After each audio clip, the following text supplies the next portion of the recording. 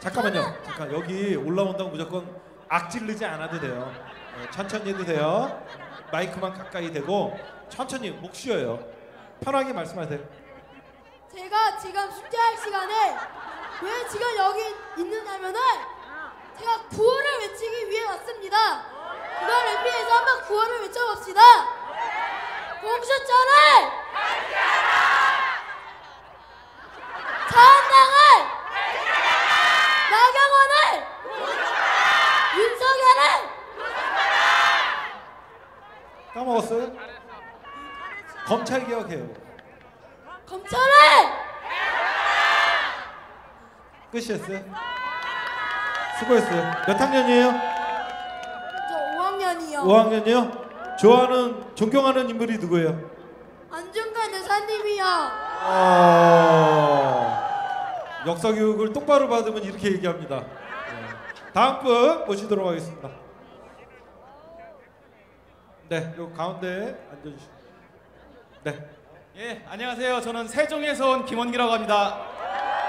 예, 어제 뉴스 다들 보셨겠지만 저 아이들 살리자는 법을 자기들 국회의원 한 번 더 하겠다고 거래로 삼는 저것들은 이미 인간이기를 포기한 사람들입니다. 예, 그냥 현조 엄마, 예, 현조 엄마를 위시한 저 자한당 우리들 우리가 어떤 형태로든 심판해야 됩니다. 자한당을 자한당을! 자한당을! 감사합니다! 네, 어제 자유한국당이 국회를 전면 파행시키면서 딴 때보다 자한당에 대한 분노가 더 커졌죠. 알고 있었지만 저 정도일 줄 몰랐죠. 그, 절대 이제 앞으로 속으면 안 되겠죠. 내년에는 국회도 이제 국민들이 정상화 시켜야 될 때가 된 것 같아요, 그렇죠? 네, 우리 선생님 말씀 들어보겠습니다. 안녕하십니까? 대구에서 온 이수만입니다. 우리 대구는 한 명이 백 명과 싸우는 일당백입니다.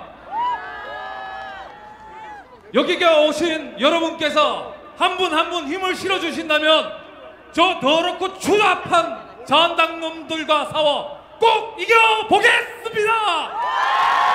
대구가 나라가 바뀐다 감사합니다. 우리 사회 봐주실 최강기 선생님 어디 오셨나요? 스탠바이 좀 하고 예. 네 안녕하세요. 안녕하십니까 전주에서 올라온 깨시민입니다. 저는 한마디 하겠습니다. 여러분 뉴스를 무엇을 보고 계십니까? MBC 어제 뉴스 보셨죠? 자한당 하는 짓 어땠습니까? 나경원 하는 짓 어땠습니까?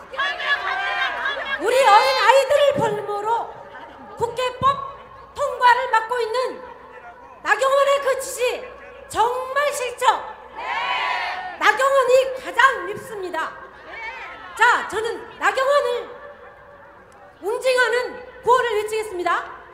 제가 나경원을 하면 수사라를 외쳐주십시오. 나경원을! 나경원을! 수사하러 나경원을! 나경원을! 감사합니다. 예 나경원을 수사하고 뭐 추방하고 막 그런 얘기 많은데 사실 우리가 좀 전략적으로 보면 어, 자유한국당에 저런 사람들이 좀 어, 있어도 나쁘진 않아요. 예. 그렇죠?